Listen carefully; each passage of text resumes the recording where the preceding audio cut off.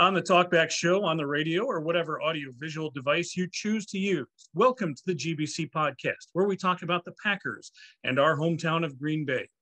This is episode 28, created on November 9th, 2022. I'm John. I'm in Appleton, Wisconsin. Along with me are Jeff, who is in Green Bay this week, and Neil on the East Coast. Say hello, gentlemen, and tell us what you're drinking. Hello, Jerry.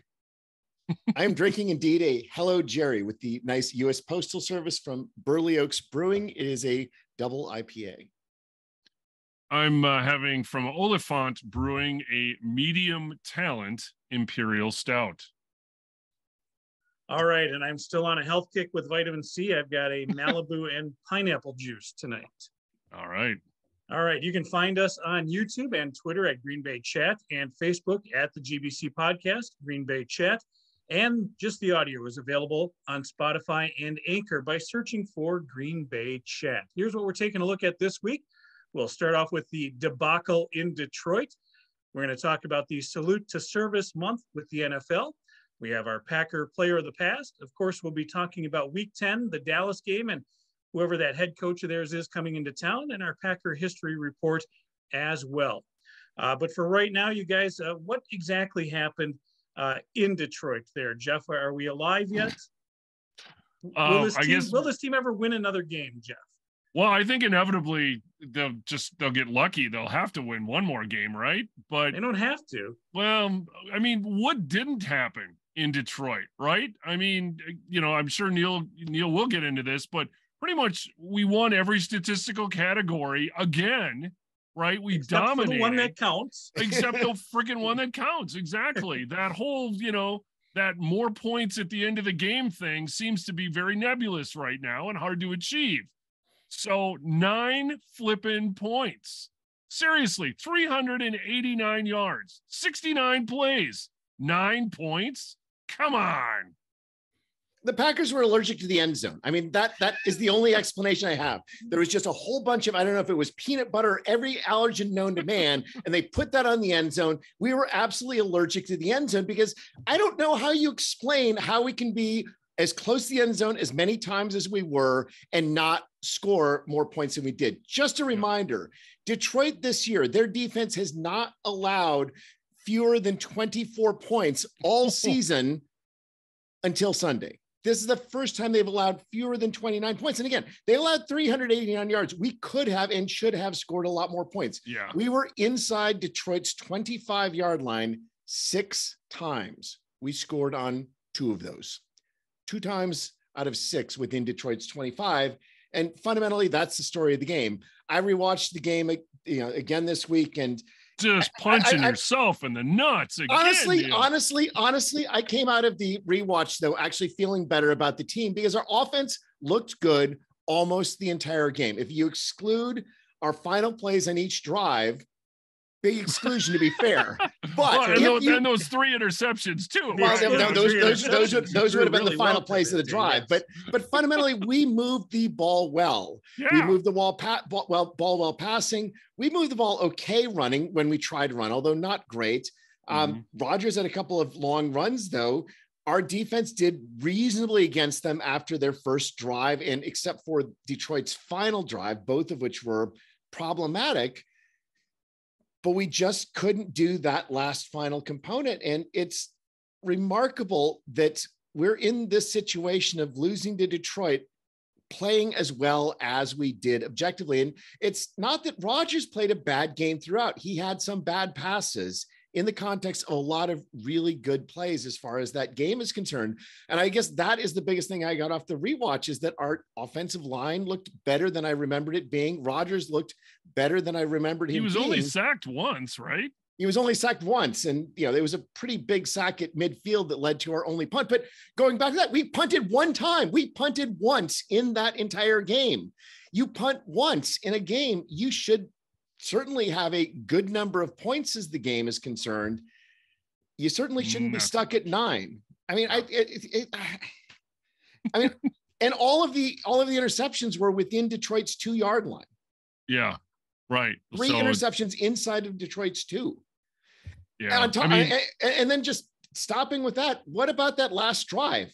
we got down to Detroit 17. We had 55 seconds and two timeouts left. We had plenty of time to move the ball and do what we want to do. We had two throwaway passes, one contested pass, and one pass in which you know it was a fade to the corner of the end zone. We did nothing as far as using the center of the field when we had 55 seconds left, two timeouts, and only needed to go 17 yards to score a touchdown. That last four plays was absolutely appalling, and that's what after the game certainly what drove me crazy the most and it's it's even more remarkable when you look at it.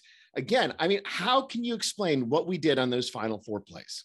Well not only that but a touchdown in the extra point wins the game.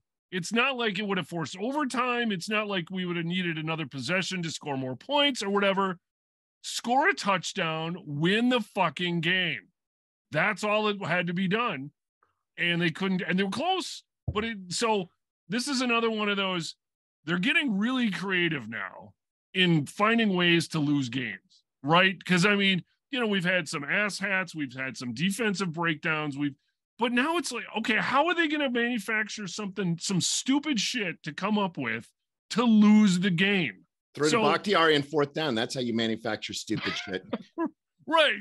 So again, that's not simplifying, is it? No, just something just how can they yeah. So i don't yes there are again silver linings here but they're still losing football games.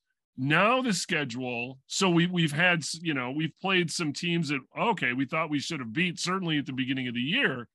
So now really good teams are coming are coming on the schedule. So now what the hell happens well, you, you play the game as they're scheduled first. And, and I think we knew all along that this Dallas, Tennessee uh, thing back to back this week was going to be a tricky one. Fortunately, they're both home games. Uh, then they get a good break through Thanksgiving before heading over to Philadelphia. Uh, but yeah, you just got to take them one day, one game at a time, you know, and throw them those cliches out there. And let's, let's take a look at Dallas. But uh, this team is so wounded. I don't even That's know the other thing too. Who's going to play? Yeah, uh, I mean, and before we even get into that Dallas game, let's let's you talked about the silver lining, Jeff. Let's look at one of the big bright spots was the Jaire Alexander interception, where we finally make a play on a crossing pattern. and and I almost feel like Jaire took that upon himself to say, "Fuck this shit! I'm getting a ball because I'm not going to go. You know, I'm not going to leave this soft guy open underneath." Yeah, you just you just wonder. So I was looking at so he's actually so he was injured for well, almost two games. So I mean, roughly seven games played. He's had nine passes defensed. Now, what was the number of passes defense through like the what the first sec, you know, two, three, four weeks that we talked about? It wasn't very many. yeah, it was like it was like three or something like that. Yeah. Right? So he, he has nine passes defensed right now.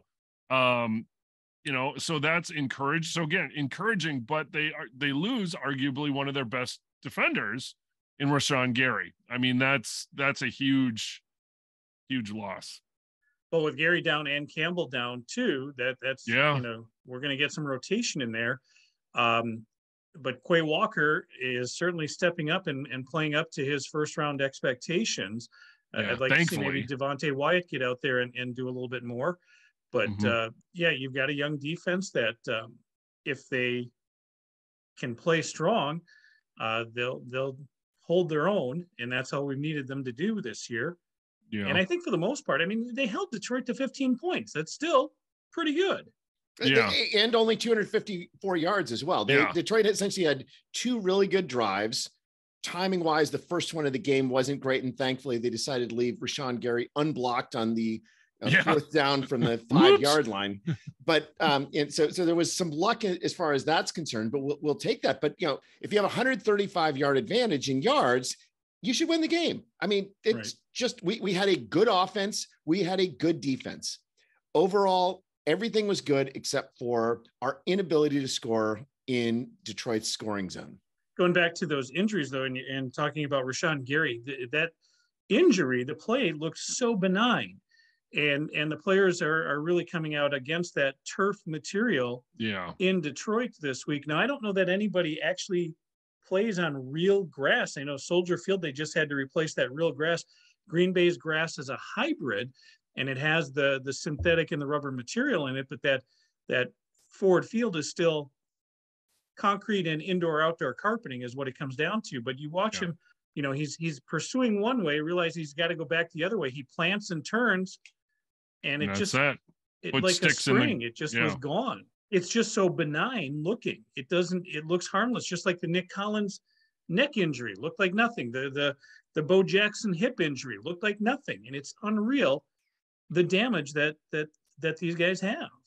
I mean, that's how ACL injuries basically always look, though, right? I mean, when you see somebody basically get, get injured when nothing else is going on, your first thought is, well, that's got to be an ACL injury. And the Packers now have three ACL injuries on that synthetic turf in the last, you know, two and a half years or so.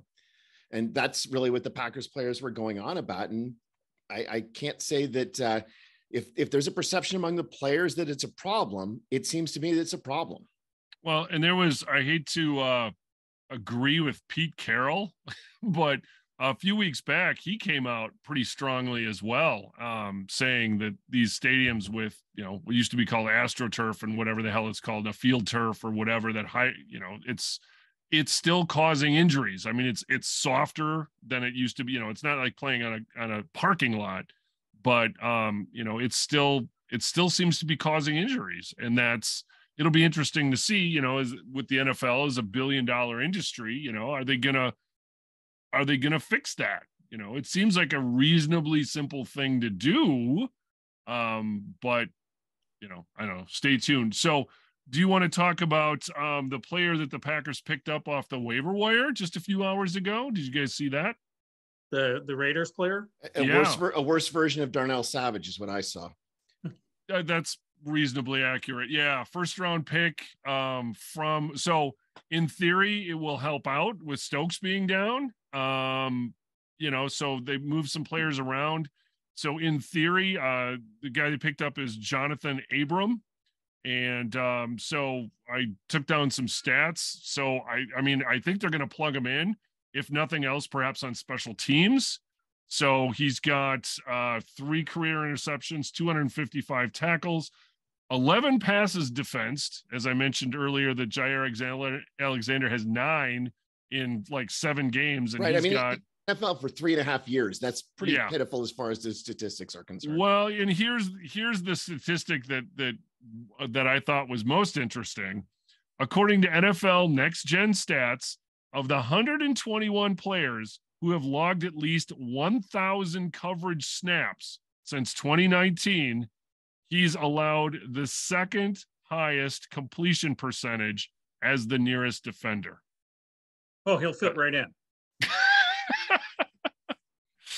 I mean, so again, gotta, maybe on special a, teams. I, I don't know. Who is a first round pick? You still have to at least take a flyer on him. I mean, you got to throw as much as you can against the wall right now to see what's going to stick. Yeah. Right. And and I think you mentioned the special teams, right? So he's played with Rich Bisaccia. And so sorry, the assets, he's played at least with Rich, Rich Bisaccia. So he true, knows yes. what he is looking, mm-hmm. he's he knows what contributions that that uh, he can make. So I think there's something to be said for that. And yes, I, I don't I'm not opposed to picking somebody who's first round talent off the waiver wire. We obviously have some holes to fill due to injuries with especially with Stokes now.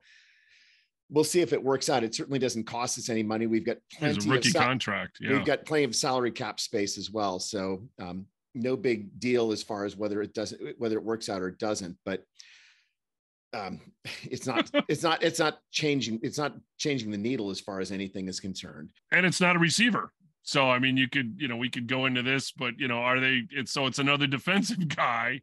So hopefully, you know, the receivers heal a little bit, and um, but it's still not a receiver. And and with this record, you know, I don't think we're looking at uh, Odell Beckham anymore, or really anybody else. I think, you know, as Rodgers said after the trading deadline last week, we have who we have now, and with this recent rash of rash of injuries, stay tuned. But it, I don't think it's going to be pretty a lot of interesting information coming out on the Christian Watson injury as well, that it was not a concussion in Detroit, uh, but rather a chest injury. But he was listed as being in the concussion in the concussion protocol on the injury report, but he is going to be ready to play on Sunday.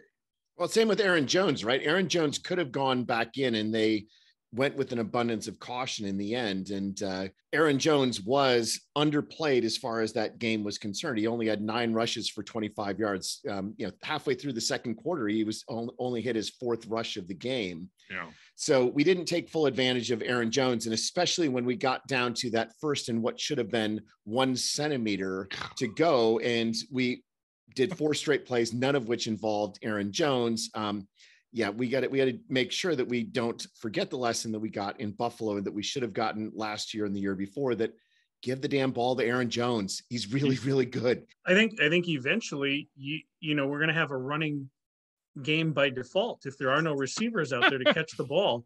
You know, Rodgers can hmm. audible out or, or choose the pass play as much as he wants.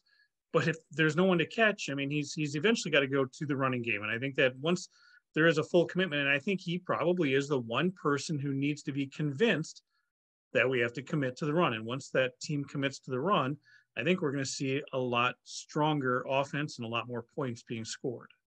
One thing that was different about the passing game in Detroit, though, is that prior to the Detroit game, the Packers actually led the NFL in passes behind the line of scrimmage.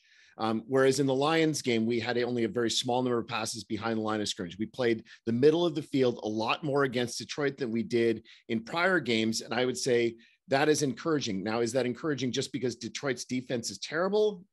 We'll find out. And, and Dallas's defense is going to be a pretty good way to find that out.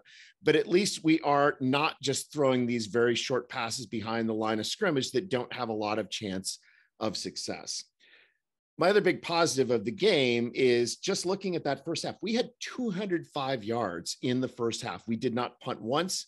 We were six of eight on third downs. Our drives broadly looked really good, except for how they ended, as I said. And I just, I, I, I actually am encouraged with the progression in the offense and hopes that it hope. I just hope that it's not a Detroit mirage. Now we'll talk at length about the Dallas game in a little bit. And before we really move on with the program, we we have to kind of make fun of our own folly. We've got a picture up here, uh, again, going back to our Buffalo trip. And we totally forgot to mention Dave last week. Our friend Dave, who now who grew up with us in Green Bay, went to high school with us, now lives in Baltimore, joined us on this trip to to Buffalo. Neil, you and Dave came over from the East Coast, uh, so we really appreciated Dave's presence there. He had a great time, uh, and he's in the picture there. And yeah, just uh, we need to acknowledge Dave. We looked back last week and we're like, oh, whoops. We you did know, mention him last week. We said his name in passing. Yeah, but when we were not actually acknowledging and, and, things yeah. like that. So yeah, so Dave, thanks, thanks for coming out with us. Um, again, hope you had fun. Uh, you survived uh, Bill's Mafia, and, and uh, certainly were uh, were a great addition. Um, great addition he, with he, us. He certainly was in the social media because we did post the videos. The video of him yep. doing the bowling ball shot is in there. He's in a lot of the pictures. So we didn't forget about him completely. We just didn't mention him last right. week. So we're give give credit where credit is due here, and, and thanks again for uh for coming out, Dave. The other thing about Dave is that he used to live in upstate New York. He was lived in Rochester for a few years, and so he knows that area reasonably well. And on the drive back from Buffalo last week, we stopped at the Corning Museum of Glass. Um, it is a remarkably good museum. It's actually one of the favorite um, science slash art slash history museums because it covers all of those elements as far as glass is concerned. Um, you know what were involved as far as developments of glass how is it used artistically? They had demonstrations of glass blowing as well as a huge display of, of glass in human history. And uh, that's one of the favorite finds i've had as far as a museum in recent times. So thank you dave for going there. And if you're anywhere near corning new york i strongly recommend the corning museum of glass. Yet, yet you also totally bypassed the Jello Museum in Leroy, New York, which is also a cute little museum as well yeah, it, the Corning Museum of Glass is much more than just cute. well, the month of November is the salute to service in the NFL because Friday, November 11th, is Veterans Day. Probably the greatest analogy of the game of professional football to the military comes from our favorite, George Carlin, who said, In football, the object is for the quarterback, also known as the field general, to be on target with his aerial assault, riddling the defense by hitting his receivers with deadly accuracy in spite of the blitz, even if he has to use the shotgun. With short bullet passes and long bombs, he marches his troops into enemy territory, balancing this aerial assault with a sustained ground attack that punches holes in the forward wall of the enemy's defensive line from the great uh, football versus baseball routine. And it's a great analogy. it's exactly correct. I can see Neil. Neil likes to laugh without making noise. So if you're watching the video, you certainly can see Neil with a big smile there. Of course, it's uh, Carlin. It is, Why would I not be smiling? uh, but with with the NFL doing our salute to service, I would like to salute my two uh, co-hosts here. Jeff, your dad served in the United States Army during the Korean War. He was on active duty, but uh, fortunately stayed stateside and, and is a veteran of the Korean War. Neil, your dad, uh, served his two years in the United States Army and uh, and and got to be at Fort Leonard Wood in Missouri, which is lovely. So I think Fort Knox, Jeff, is a slight uh, advantage over Fort Leonard Wood. Uh, but uh, your dad didn't really talk about it much either. I didn't find out no. about it until he until his retirement party. I was floored once he started talking about serving in Korea or during yeah, Korea. Yeah, he he was very um yeah, he he didn't share much of it. Um I don't think it was a bad experience for him. He just didn't really talk about it. It was uh you know, he was pretty young kid when he went down there. Um and so you know, I think it was really his his first time away from home, frankly. And mm-hmm. um so, you know, I think he he was forced to grow up um, I know he was, you know, from a culture shock being from, you know, coming down from Green Bay, going into uh basically, you know, another world almost, right? I mean, you know, it's it's uh not that far. It's still the United States. Obviously, it wasn't Korea, but um still a, a certainly a different part of the world that he had not been in. So when he passed a few years ago, uh as, a uh, retired uh, service member, we were uh, able to get a, a, uh, flag. So that's what I, I have in the background here. Um, so his flag uh, that we received. So that's that was that was uh, great uh, memento uh, for him. But yeah, he just he didn't talk about it a lot, but he just he he proudly served. So I would like to thank both my father-in-law and my godfather who did serve and served in Vietnam. My father-in-law served in the army during the time of Vietnam um, and was subjected to Agent Orange during his time when he was in Vietnam. Um, he was eventually recognized for disability due to cancer that developed due to Agent Orange exposure. My uncle Jeff also served in Vietnam and was subject to a Viet Cong assault um, that left most, most of his entire platoon killed. Uh, he basically survived because he looked like he was killed. Um, and thankfully, he was one of a small number who survived from his platoon. Um, so both of them served admirably in Vietnam. And both of them are very proud of their service throughout their entire life. Neil, I had a great conversation with your dad uh, just before we left for Canada. And uh, he, he, again, does, didn't wear his service on his sleeve, but you know, he was in in Missouri for two years, uh, and as a doctor, he I think accepted the the military's offer to pay for some schooling, and he said he he begged them. He said, "Send me somewhere."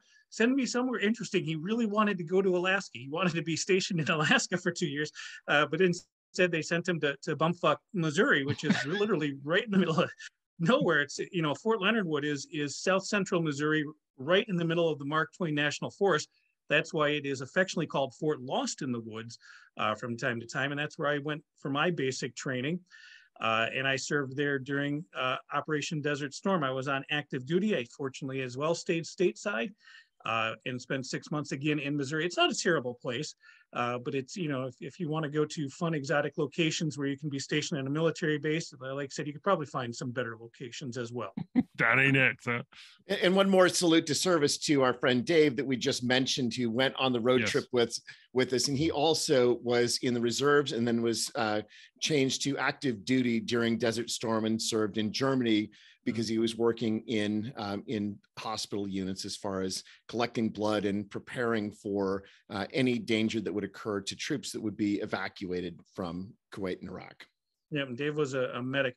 Uh, one other I'll throw out there as well. My father-in-law too, Neil Ralph, uh, served during Vietnam. He's also been very active uh, since then. He uh, is very involved with the um, uh, the Veterans of Foreign Wars, the VFW. He was at one time the state commander of the VFW here in Wisconsin. And we recently had a, a nice presentation for him at the VFW in his hometown, uh, where they, the, the Ladies Auxiliary and the Honor Guard uh, did a whole presentation for him. Uh, that, that kind of an honor that not a lot of the, the, the veterans get. Uh, And sometimes the, these honors that they get is after they've passed. And so fortunately, he was able to to enjoy it. So we had a good day with him uh, there as well.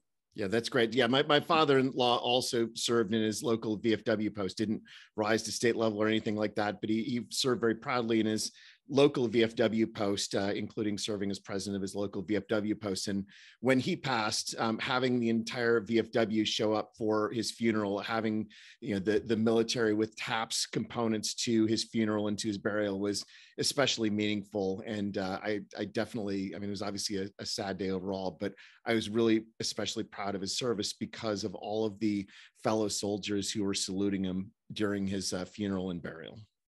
And we certainly do appreciate uh, the NFL uh, and the Green Bay Packers for their continued support of the American military, uh, that they show it in their salute to service. And, and I can say for sure one thing that, that is always exciting in Green Bay is the, the flyover during the national anthem. And it is, a, it is an event that is not just for those at Lambeau Field because of the way Green Bay is laid out. you can witness that flyover from just about anywhere. In fact, on our social media page, uh, one of our reels on Instagram, uh, easily our most popular is one that I took of the flyover of the four jets uh, flying over Lambeau Field uh, for the national anthem. There have also been numerous players in the National Football League who have served in the military before, during, and after their football careers. And to talk about one of those in our Packer player of the past is Neil. Canadeo, Canadeo, oh, oh, oh, Canadeo, Canadeo, to Tony Canadeo, Canadeo, to Tony Canadeo, rock me Canadeo. Our Packers nice. player of the past is Tony Canadeo. Um, really? And uh, this is the person uh, I, have mentioned previously that I think we should have chance for NFL stadiums, NFL games. Um, the nature of the chant is that you take a very popular song that everyone knows and then com- completely mutilate the words to apply to your teams or to your favorite players. Rock Me Canadeo. So Tony Canadeo was a star for the Green Bay Packers in the 1940s. Um, starting from 1942 and playing until 1952. Um, he was born in 1919, a very perfect year for a Packers player to be born in Grew up in Chicago, um, played high school football. He was Italian uh, in the Italian local Hall of Fame as far as his play is concerned, but then went out to Gonzaga University. Now, you might think of Gonzaga as a basketball school, but at that time they were also a football team, football powerhouse as well. He was the gray ghost of Gonzaga. He was a relentless player, played on those teams, played all sorts of positions. And at the end of the 1940 Gonzaga season, he went into the NFL draft. Um, Gonzaga actually dropped their football program after the following year. So he's the last Gonzaga player to play in the NFL. Tony Canadeo, as a player, was a jack of all trades. He was a not a large player, but he was an absolutely relentless player based on reports at the time. He played halfback for the Packers. He played quarterback. He played safety. He played punter. He did punt returns. He did kick returns. Essentially, whatever job you need to do, that's what Tony Canadeo did. Um, in his rookie year, he did not play a lot, as rookies tend not to do, uh, but he did throw quarterback and he did uh, run as a running back. Um, so he had three touchdowns uh, running, two touchdowns passing in his rookie year. In his sophomore season, uh, 1942, he started to make larger contributions to the team um, as he started to replace Clark Hinkle and Cecil Isbell, who had been the stars of the team up until that point. His breakthrough season for the Packers was the 1943 season. He had 875 yards passing with nine touchdowns. He rushed for 489 yards. He had two receiving touchdowns along with his three rushing touchdowns. He had 14 total touchdown involvements during that 1943 season. For that, he was named first team All Pro. And again, he was not just being a runner or a kicker or receiver, he also was the primary punter at the time. He played safety for the Packers at the time. And so, an absolute all around beast for that 1943 Packers team. But you'll note that 1943 was during World War II. And so, at the end of the 1943 season, he enlisted within the Army. And in that 1944 season that followed, he only played three games for the Packers, all during furlough from the Army. So you'll re- recall that 1944 is one of the Packers' NFL championship years. Well, Tony Canadeo has a ring for that championship. Um, but he actually only played three games for the Packers, um, 149 yards rushing, 89 yards passing. Um, he was somebody who was dedicated to his country, dedicated to the service of his country. Um, and so he essentially missed that year that ended up being the Packers' last championship in the Don Hutson era. 1945, he served in the Army and did not play in the NFL at all. So his top year in the NFL, 1943, 14 touchdowns. He goes immediately to the Army at the peak of his career as a matter of choice, not because he was drafted. World War II ends. He returned to the Packers and basically mostly played running back from that point on, from 1946 to 1952. Um, he missed one game over that entire time um, in 1946. So he was an early Packers Ironman. Uh, he was the leading Packers rusher for most of those years. In 1949, he set a Packers record as rushing with 1,052 yards. He was the first 1,000 yard rusher for the Packers, also only the third in NFL history. Of course, that 1949 season was the last season for Curly Lambeau's coach. The Packers were only two and 10 that year. Um, he played for several years afterwards, in which the Packers were also not very good, but he was somebody who was clearly looked upon as an absolute leader, both on the field and off the field, and his service is centrally to that. Um, in his career, 4,197 yards rushing.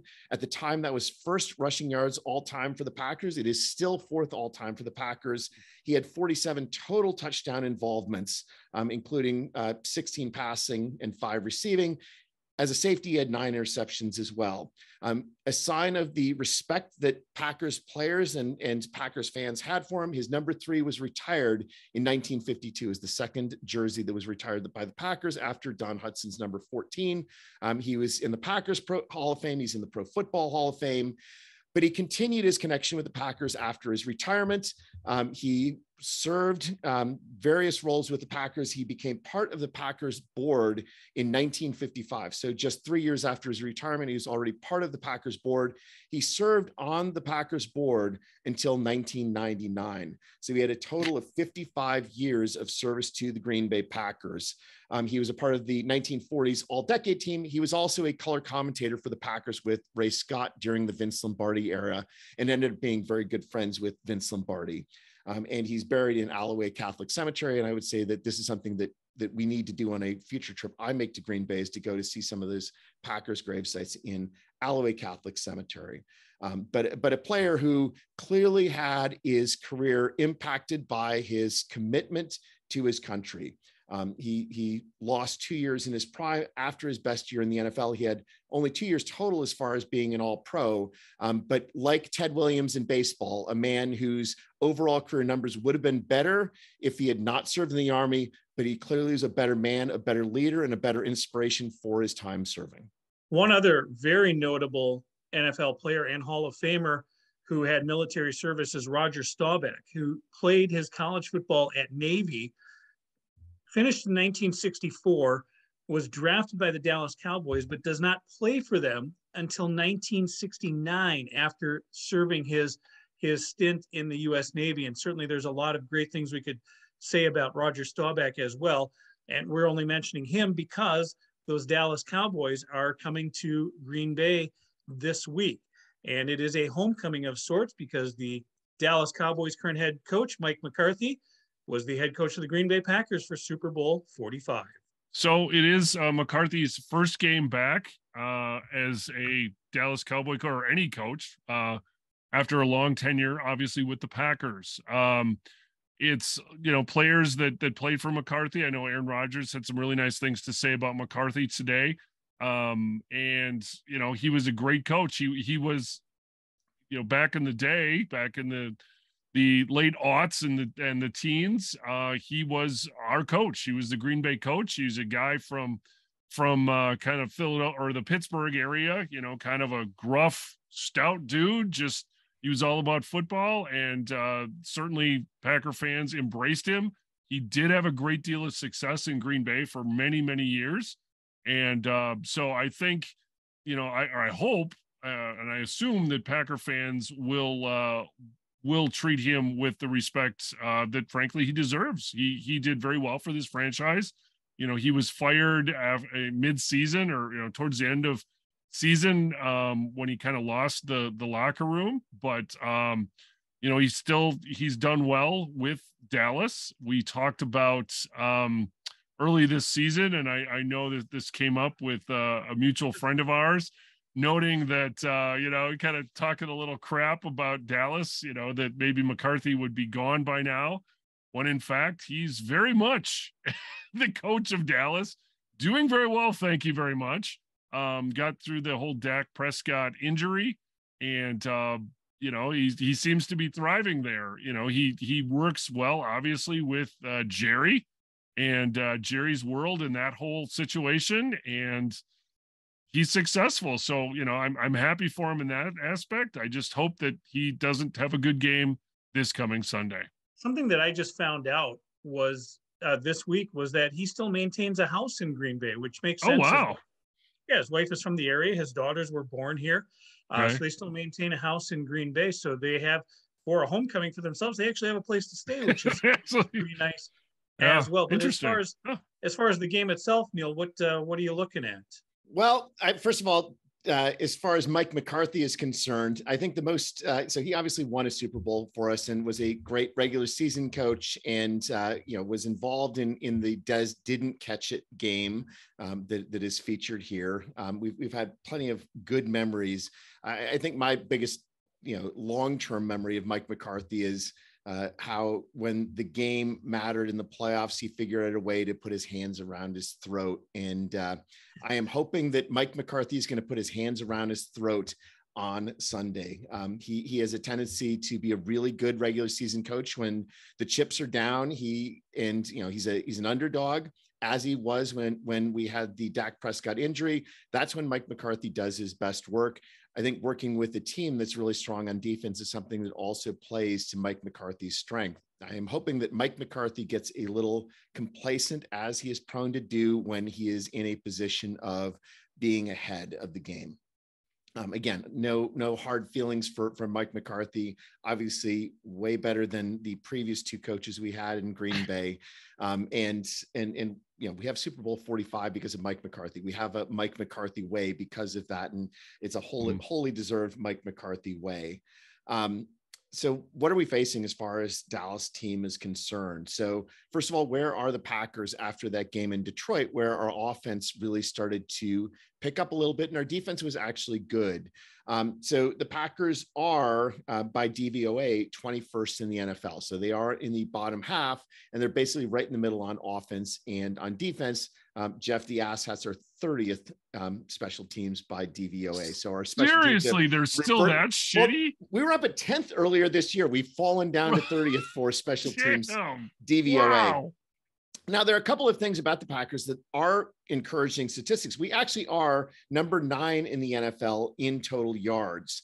Um, and we're number eight in the total number of plays. And so we've been able to do some things on offense, and it's just that we've not. It, it's like the Detroit game. We did a lot of things, and they never entirely came together. But I think is something that clouds our three and six record. Uh, as Packers fans, we just look at that record, but our team is doing better overall than that three and six record.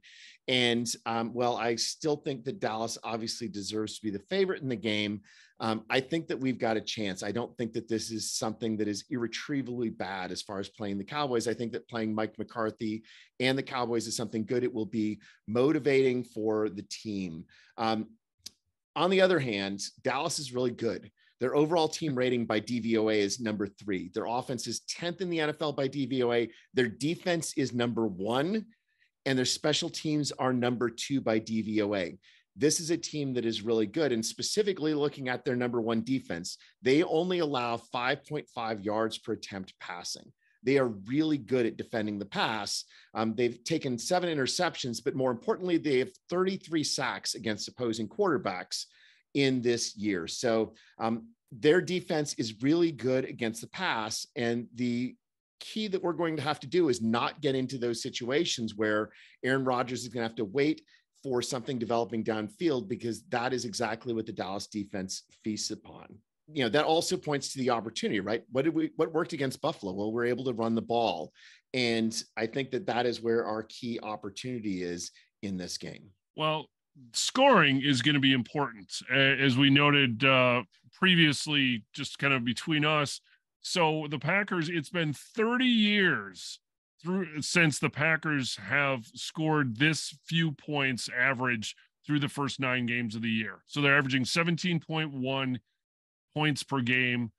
There was a guy by the name of Brett Favre back in 1992, 30 years ago, and it was his first season. So 30 years, that's a long time. And that's, I mean, this is like generationally shitty offense. So, you know, I, I'm I'm concerned because okay, now they have they they can't they really sc- struggle to score points.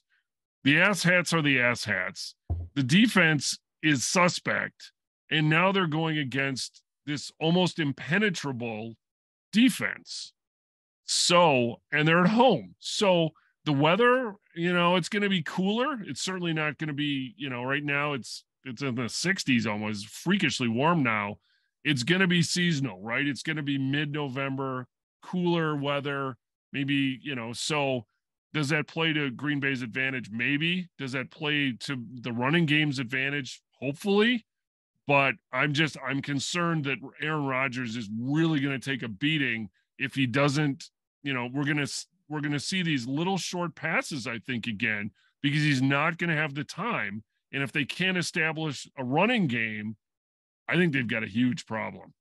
I think running game you know, is the key thing, Neil. Like you said, Buffalo, it worked. Um, temperature wise, we're looking at a high temperature in Green Bay of 35 degrees. We aren't expecting snow, but this is a 325 kickoff. So an hour after kickoff is sunset. So it's going to be 35 degrees and cooling off quickly. And yeah, we have a, a cold weather team, but we haven't had cold weather yet. So both teams, I think, are going to be affected by this. And I think that it, it is something that, yeah, we definitely have to see Green Bay really running the ball. One other thing that we haven't seen a lot of is, you know, the Packers being an underdog at home. The line on this game started out with Dallas favored by three. It ballooned up to 5 mm-hmm. It's at four and a half at the moment, but uh, nonetheless, you know, Dallas is favored in, in this Green game. Bay in November. Yeah. yeah. So one thing though that it, going back to those offenses, right? As far as yards per play on offense, the Packers actually have a better number for yards per play on offense. It's not by much, it's a very small difference. The difference between these two teams is really the quality of the Dallas defense. And so it's going to be those things like getting us into a short field, maybe getting a couple of turnovers. We're going to have to do something that's going to relieve the pressure on our defense and give our offense some sort of advantages that we have not had for most of the year. Something like what Jaire did against Detroit, seeing things along those lines. Maybe let's recover a fumble for a change. That would be something that would be good. Do something along those lines because again, Dallas is only allowed 12 touchdowns in the entire year. They've got a really good wow. defense. We've got to do something that puts our offense into good positions to score. But on the other hand, our defense, I feel reasonably good about because it's not been them charging down the field. You know, I certainly worry about Zeke and the rest of the running game, given how teams have done running against us. And certainly Mike McCarthy is going to recognize that but we're we're going to have to see. But I think there are at least opportunities for us to do well and to make our strengths play out.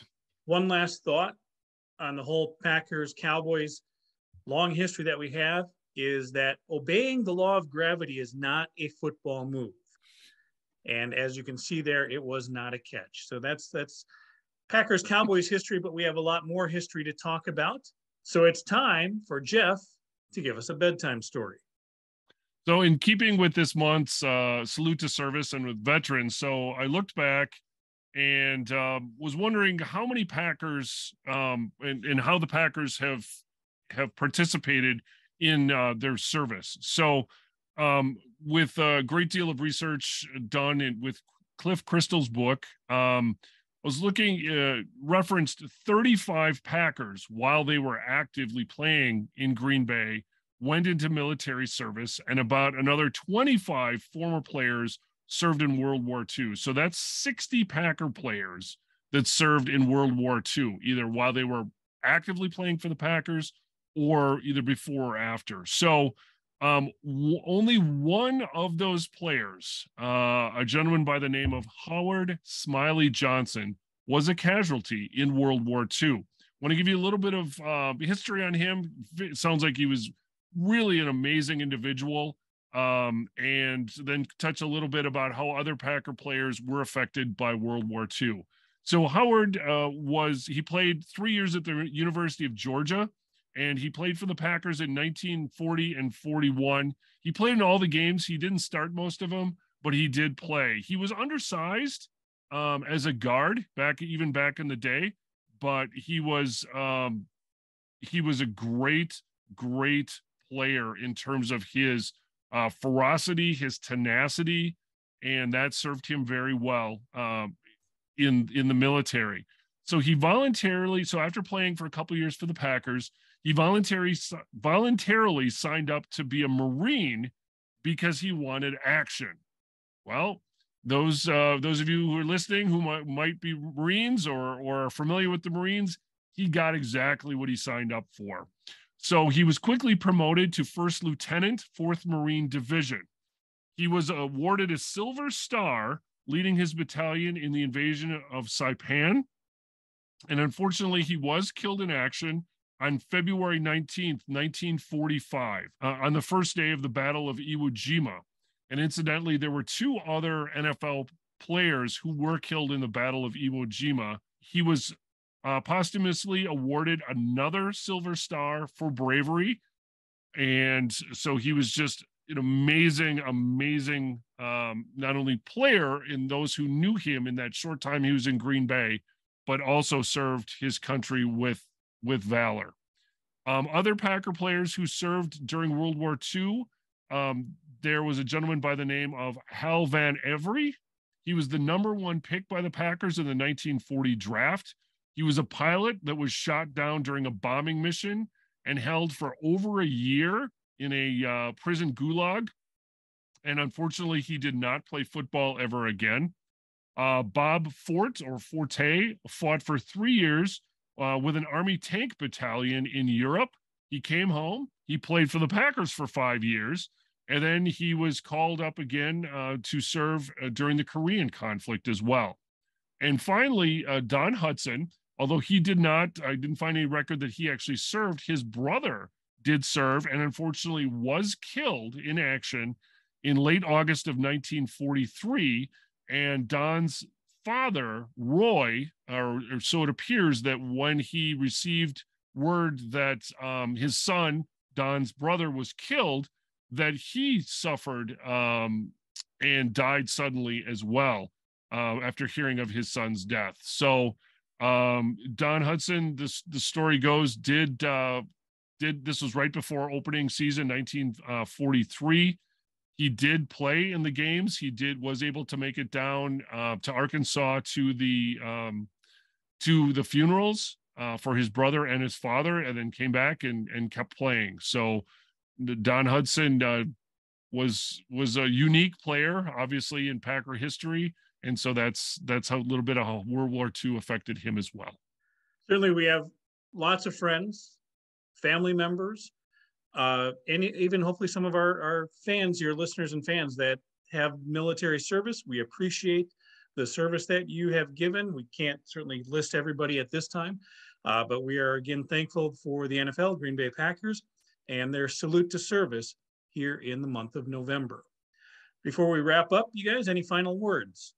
I want to go back to the Detroit game and the fact that we had two first and goal opportunities and specifically we had that first and goal at the one yard line and we didn't give the ball to it should have been at the one centimeter line and we didn't give the ball to aaron jones once.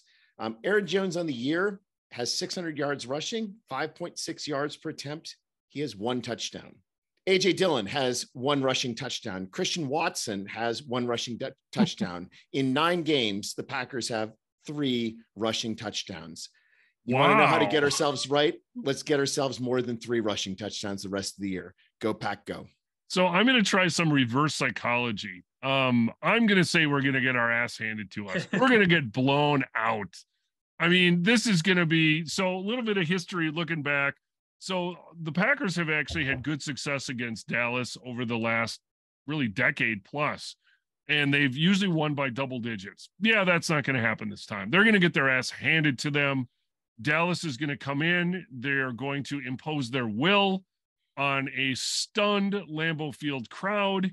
There may be some boo birds, um, and Mike McCarthy is going to have that Mike McCarthy shit eating grin on his face, and he is going to leave Lambeau Field a victor. The other thing about this game is two months ago, it was the hardest ticket to get for Lambeau Field. Secondary market tickets were uh, very high. People who have you know their season tickets, they made they made money on this game if they sold uh, early. Yeah, yeah, right now I can tell you for a fact that there are a lot of face value tickets available uh, right now, and uh, it's possible that those prices could go down uh, by time Sunday rolls around. And and you combine the weather with poor play. so if you if you wanted to go to the Packers Dallas game and you don't have a ticket yet, uh, keep checking, and you'll find someone who is probably going to try giving away some tickets this weekend. Yikes! Well, like I said, I hope we'll see if my reverse psychology works this week. I have no idea what to expect. We'll see. That, that, that's where we are in the season, right? It's like, yeah, you know, different things are happening. We're seeing different positive elements of most of the games recently, but we need them all to come together. And, you know, the hope is that this is the week that they come together. Or we'll find ourselves quoting our friend Peter and saying, it just gets worse, doesn't it? All right. If you're watching us on YouTube, please hit subscribe. Make sure you leave a comment for us as well. It's all free, doesn't cost you anything. You can also find the GBC podcast at Green Bay Chat. That's all one word, Green Bay Chat. We are on Twitter, Instagram, TikTok, and Snapchat, as well as on Facebook at the GBC podcast, Green Bay Chat. And as always, may you fully appreciate the magnitude of your impending good fortune. Thanks for joining us. Good night. Good night.